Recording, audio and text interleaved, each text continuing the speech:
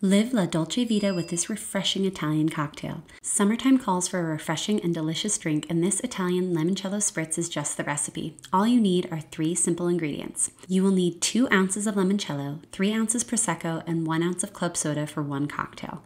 By the way, this is a fabulous option to make in a pitcher for a long day spent outside. I have the full measurements to make a pitcher up on the blog today, and I'll also be sure to share a couple variation ideas at the end of this video. Fill your cocktail glass with ice, add in limoncello, prosecco, and club soda.